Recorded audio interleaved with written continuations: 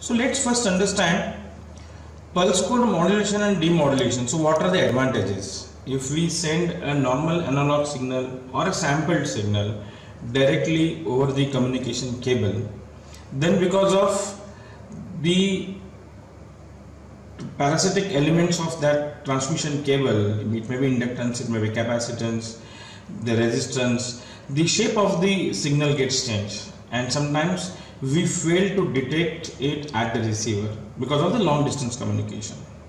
So pulse code modulation gives an advantage over the analog signal transmission, the sampled uh, signal transmission because it provides you that you can send the signal for a long distance and second is it is immune to noise.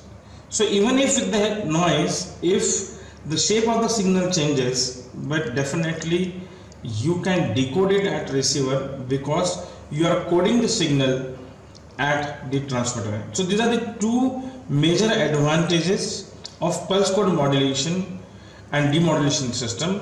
One is the long distance communication and second is it is immune to noise it is widely used in different applications like in telecom to send the audio signal then you convert it into the digital. That means the pulse code modulated data and then you are transmitting to the receiver. At receiver again you are decoding and converting into the audio information. But besides that it is also used into the digital audio recording like compact disc recording. This technology has been used.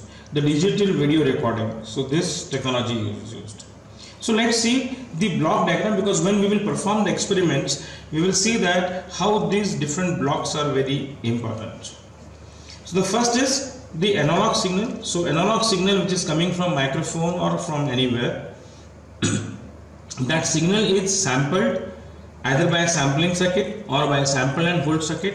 But most of the time we do it by sample and hold circuit because we had already seen the comparison of sample and hold and sampling during our the first video.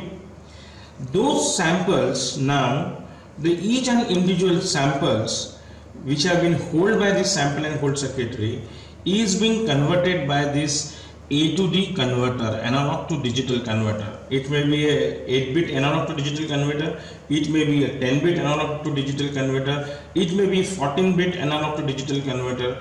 So more the number of bits A to D converter is having, better will be the resolution. But for the sake of doing experiments, we use 8-bit uh, A to D converter.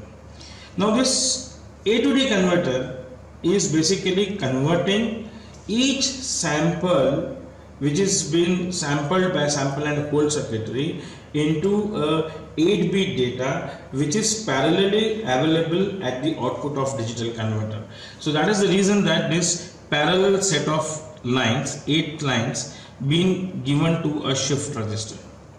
This shift register is a register which takes the data parallelly in. So the parallel data is been in into the shift register and it is serially output. So now the data is coming from A to D converter in the form of 8 parallel bits but that 8 parallel bits are converted into the serial data and this serial data is transmitted over the communication channel over the communication cable.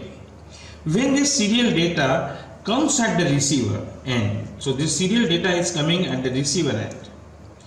So then the first block is again the shift register whose responsibility is to convert this serial data into a parallel data. So all 8 bits are again converted into these 8 serial bits are again converted into the 8 parallel bits which is input for a D2A converter, digital to analog converter. So this D2A converter converts 8 bits and give you a sampled analog output which is an analog signal. Now here we are getting the sampled output and we all know how to derive the analog signal from the high frequency sampled output. So that is nothing. We are going to use this low pass filter to remove the high frequency samples and get the baseband signal which is the analog signal which is the analog signal. So now let's do the experiment practically about this pulse code modulation and demodulation.